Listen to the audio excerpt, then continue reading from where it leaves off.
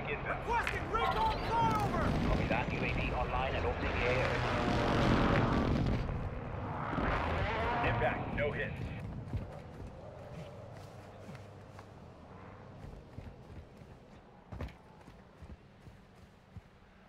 One, that's a denied area. Enemy presence will be high. Be advised, UAV is exiting the AO.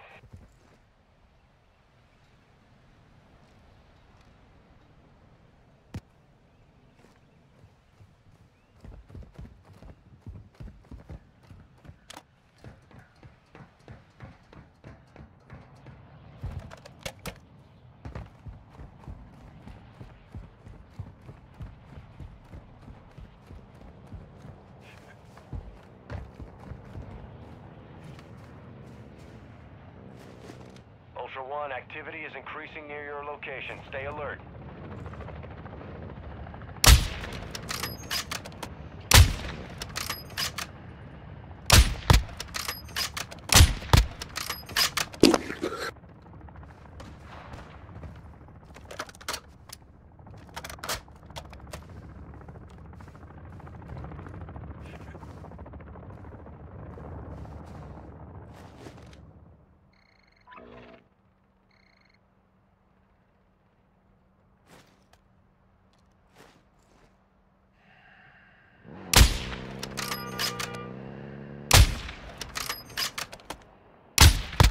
That was top corner!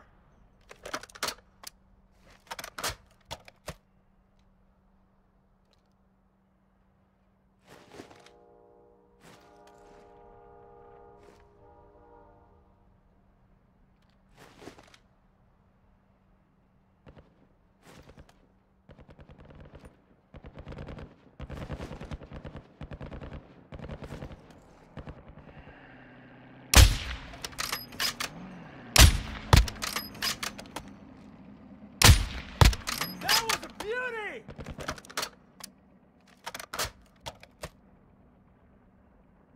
Ultra One, be advised, an operator in your area needs medical.